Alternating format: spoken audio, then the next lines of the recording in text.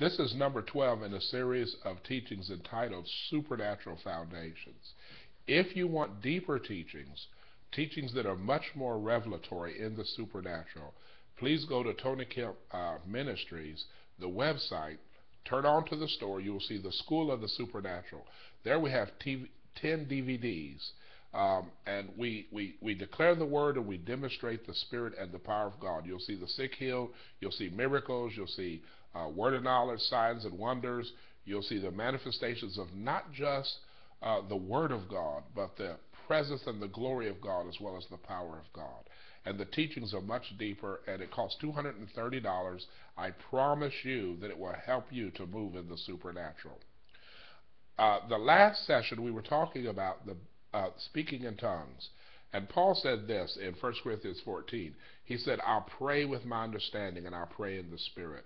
He said, I, I, I bless God with the Spirit. He said, worship God in the Spirit. Give thanks in the Spirit. And so I want to tell you this spend as much time praying in the Holy Spirit as absolutely possible. And you're going to find out that you're going to grow in the Spirit. You will increase your sensitivity to the Holy Spirit.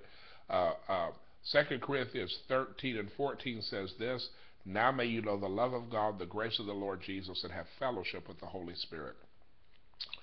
And when you pray in tongues, you'll have the communion of the Spirit. You'll have the partnership of the Spirit. You'll have a participation of the Spirit. You'll have friendship with the Spirit. You'll get to know the person, the presence, and the power of the Holy Spirit in your life and in your ministry. I'm giving you a key to the supernatural. Listen to me closely. Now we're going to talk about the next foundation doctrine, which is the laying on of hands. And in Luke's Gospel, chapter number uh, 3 or number 4, it says in verse 40, And when the sun was setting, all they that had any sick with different diseases brought them to Jesus, and Jesus laid his hands on every single one of them and healed them. The reason that uh, you have the doctrine of the laying on of hands is when you lay hands upon the sick, Jesus said they will recover. Look now what is, is in uh, Mark's Gospel, chapter 16, verse 18. The latter part of the verse, Jesus says to his disciples, You'll lay hands on the sick and they will recover. So, in other words, you tell the person who is sick, Jesus is your healer. You give them the word of God concerning healing. And then you lay hands on them, and the word says that they will recover. The Greek word means they will get better and better till they're completely well.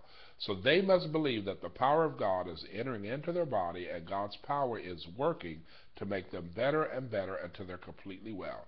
They must believe to the point where they're completely healed. When it is healing, it is gradual. It's supernatural, but it gradually happens over time. When it's a miracle, it can happen instantaneously or in seconds. And so, one of the reasons for the laying on of hands is to minister healing. Now, that's not the only reason for the laying on of hands. You can lay hands on people to minister deliverance. And let me give you uh, scripture for that because uh, it's uh, very much uh, in the Word of God. And so, um, here we have the same situation, but now we're in Mark's Gospel. And it says uh, in uh, chapter chapter 1, verse 32, at evening, when the sun had set, notice that, they brought to Jesus all who were diseased, and them that were possessed with devils. All the city was gathered together at the door, for he had healed many that were sick of different diseases, and he cast out many devils. Now, the scripture that we just read was the same situation. Jesus laid his hands upon the sick, and they became well. Jesus laid his hands upon those that were demonized, and the demons departed out of them, and they were delivered. And so I have seen Jesus deliver people who were uh, depressed. They they had they had a um, um, you know everybody gets depressed with a sort of a situation, but what I'm talking about is chronic, ongoing depression even when things are good, they're still depressed. And it could be caused by a spirit of darkness. And I have seen Jesus expel that demon from a person's life, and the person no longer has a problem with depression. I have seen uh, uh, persons who have psychosis, or what may even be called schizophrenia. And when that demon was expelled, that person was free from that psychosis. They were free from auditory hallucinations or visual hallucinations. They were free from demon activity because Jesus is a mighty deliverer. There have been people who have been healed of bipolar disease. There have been people who've been uh, healed of alcoholism. They've been delivered uh, from alcoholism. And uh, listen, uh, true alcoholism is demonic. You, you, you can lose your marriage over it. You can lose your family members over it. You can lose your job over it. And if people don't get delivered, sometimes they lose their li- lose their lives over it.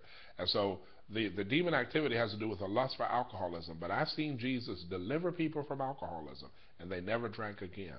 I'm talking about the mighty power of Jesus Christ. And drug addiction is the same way. It's it's uh, it's pharmakeia. It's it's a form of witchcraft. Uh, Galatians 5. If you read it there in the original language, you'll see that. And when this person is delivered from drug addiction, when this person is delivered from the spirit of witchcraft, from that that pharmakeia, the person never uses drugs again. So I've seen Jesus do that. And so Jesus can heal people uh, uh, from sicknesses and diseases. And believe me, alcoholism is a sickness, uh, drug addiction is a disease. And Jesus has has has uh, driven out these demon spirits and set people from free from alcoholism as well as drug addiction, as well as many other kinds of demonic activity. We've seen people set free.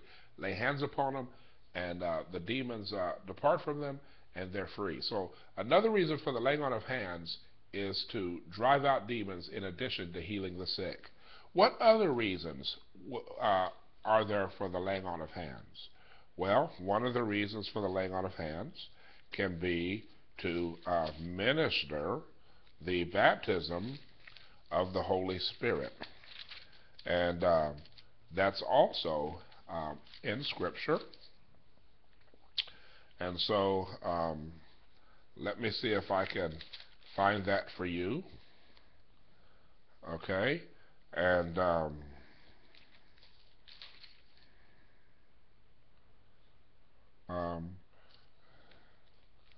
so turn to the book of Acts, chapter 19. And uh, um, here, the Apostle Paul finds some people who believed in the, um, uh, they believed in Jesus. They got baptized with John's baptism. And then Paul uh, baptized them in the name of Jesus in verse 5.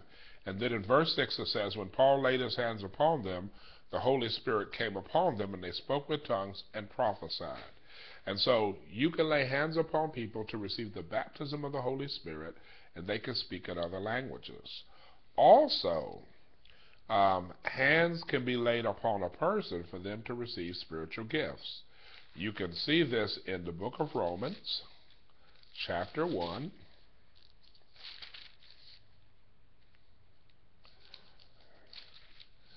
And let's look and see what Paul says here. Um, because this is very, very important. And um, he says in chapter 1, verse 11, he says, For I long to see you that I may impart to you some spiritual gift to the end that you may be uh, established. So when it's God's will, a minister can lay hands upon a person and they can receive the spiritual gift. In Acts 19, the people prophesied. You, uh, hands may be laid upon you, and if it's God's will, you can receive a gift of healing or miracles or faith or uh, um, uh, prophecy or word of knowledge, word of wisdom, discerning of spirits, or what have you. So one of the reasons for the laying on of hands is for um, the impartation of spiritual gifts. Now, to to give you another scripture in regard to this, um, we can look at uh, 1 Timothy chapter 4, verse 14, where Paul says to Timothy, Do not neglect the gift that is in you, which was given you by prophecy with the laying on of hands of the presbytery. So there were ministers who laid hands upon Timothy, and he received a spiritual gift through prophetic utterance and by the laying on of hands. And I must remind you that before Moses went on to be with God, uh, the Lord told him to put his hands upon Joshua, and Joshua received the anointing of wisdom, and he also moved in miracles through the laying on of hands through the ministry of Moses. And so people can receive spiritual gifts through the laying on of hands. Now turn to the book of Acts, chapter 13, because we also see that a person could be laid aside and ordained into a supernatural ministry through the laying on of hands. We're talking about the doctrine of the laying on of hands. And we're in Acts chapter 13, verse 1. Now there were in the church at Antioch certain prophets and teachers Barnabas, Simeon, Lucius, Manaen, okay, and um, um, and so uh, and Saul. And verse 2 says, They ministered to the Lord and fasted, and the Holy Spirit said to these prophets and teachers, Separate to me Barnabas and Saul, which is the Apostle Paul, for the work whereunto I have called them. And when they had fasted, prayed, and laid hands on them, they were sent away. And so these two men, Paul and Barnabas, through the laying on of hands, were set aside, set apart to God, and entered as quit, they quit being prophets and or teachers and became apostles. That's what the Word of God shows that they are later on called apostles. And so a person can receive gifts of the Spirit, charismatic gifts, 1 Corinthians chapter 12, or Doma gifts, Ephesians 4 gifts, through the laying on of hands. And so the laying on of hands can bring a supernatural impartation of the Holy Spirit or Jesus Christ into your life. Now let's take a look at this doctrine of the resurrection of the dead. And again, we're not going to go into great detail uh, on this particular doctrine, but I do want to give you uh, a little bit of the Word of God with regards to it so that you have a basic understanding of it. Because I want to lay supernatural foundations so that you can go into a supernatural life and a supernatural ministry in Jesus. Here's what Jesus had to say in John's Gospel, uh, chapter number 5, and this is what he says in verse 25. He says, Verily, verily, I say to you, the hour is coming, and now is, when the dead shall hear the voice of the Son of God, and they that hear shall live. For as the Father has life in himself, so is he given also to the Son to have life in himself and has given him authority to execute judgment also, because he's the Son of Man. Listen to what he says now. Marvel not at this, for the hour is coming in which all they that are in the end of graves shall hear God's voice, and shall come forth, they that have done good to the resurrection of life, and they that have done evil to the resurrection of damnation. So essentially here, when you're looking at the doctrine of the, uh, of, of the resurrection of the dead, you're looking at basically two resurrections the resurrection of the righteous dead, those that have repented of their sins, believed in Jesus, born again, forgiven, justified by Jesus, obeyed God, sanctified by Jesus. The resurrect those who've done good, they receive eternal life, and those that died in sin, when they're resurrected, they're resurrected and they go to the lake of fire. Now, are there other resurrections? Of course. Jesus raised Jairus' daughter from death to life. She was 12 years of age and she was brought to life. Lazarus, after being dead four days, was brought to life. There was a woman who had a double loss. She lost her husband and her only son. And at her funeral, Jesus brought that son back to life. Elijah brought a boy back to life. Elisha brought a boy back to life. Peter brought somebody to life. Paul brought somebody to life. Jesus can speak to you and you could pray for somebody who's dead, and if it's God's will, they can come back to life. I'm talking about the resurrection power of Jesus Christ. Jesus said, I'm the life, I'm the resurrection, I'm the life, and Jesus the resurrection and Jesus the life lives in you. Listen to me carefully.